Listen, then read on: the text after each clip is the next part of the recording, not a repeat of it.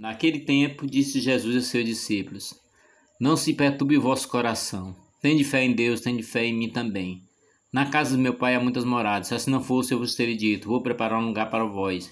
Se quando eu tiver ido preparar um lugar, voltarei e vos levarei comigo, a fim de que onde eu estiver esteja também vós.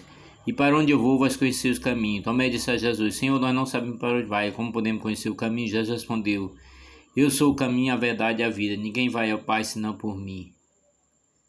No grande discurso de Jesus, que vai do versículo 1 a 31, os discípulos são convidados a experimentar mais profundamente a fé e ser corajosos.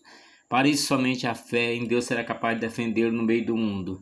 A fortaleza deles não se encontra em si mesmo ou em instituições mudando de espécie alguma. Somente Deus é a rocha de sua vida. Depois da ascensão de Jesus, o Espírito Santo preencherá suas vidas.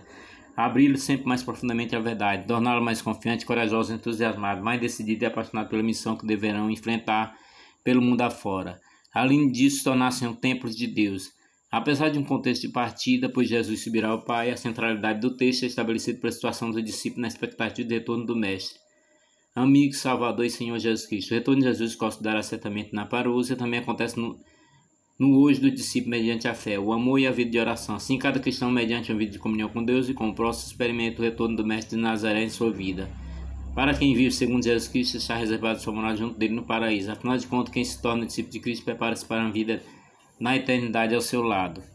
Tomé ainda não tinha sido suficiente, faltar luz para entender a meta e a estrada. Jesus, por sua vez, aponta o caminho. A meta será consequente na vida de quem seguir pela estrada certa.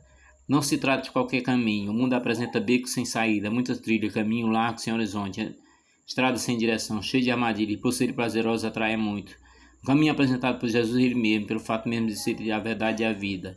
Ele não tem somente conhecimento da verdade da vida. Ele é a realidade, tudo sua vida foi voltado para a verdade, manifestada no amor e na misericórdia. Todo seu ser exprime que de fato ele é. Outra coisa não ensinou senão a sua própria realidade, condições necessárias para a salvação de toda a criação. A verdade, segundo o Evangelho de João, não se limita à mentalidade filosófica grega, a essência de coisa em si, nem também a relação com Deus mediante desprezo pela história, como queria Diagnóstico. O maior projeto divino da salvação é realizado por meio de Jesus Cristo na história, de Jesus Cristo é a razão do Pai. É a verdade pelo qual o mundo foi criado, pelo qual toda a criação será salva. Não encontrar a verdade que não alcançar o Filho de Deus. A verdade se tornou visível em Jesus Cristo, que revelou ao mundo a realidade de Deus como comunhão de três pessoas.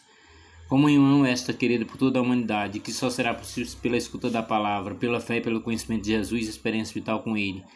No mundo dos homens é realidade de mentiras e de morte. Pois bem, a verdade se escamou para conduzir os homens a ela.